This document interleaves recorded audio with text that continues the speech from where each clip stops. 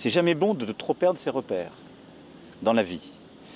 Euh, si on me posait la question, parce que c'est plutôt comme ça que je vais vous répondre en creux, quelle que soit la personne qui est euh, considérée le leadership à venir en Grande-Bretagne, je ne m'interroge pas une seule seconde. Le Royaume-Uni est ami de la France. Et, vous savez, nous vivons dans un monde compliqué. Vous avez des, euh, de plus en plus euh, d'illibéraux, de démocratie autoritaire, de puissance de déséquilibre. Si on n'est pas capable, entre Français et Britanniques, de dire si on est ami ou ennemi, le terme n'est pas neutre, euh, on va vers de sérieux problèmes. Donc oui, à coup sûr, je le dis, le peuple britannique, la nation qu'est le Royaume-Uni est une nation amie, forte et alliée, quels que soient ses dirigeants.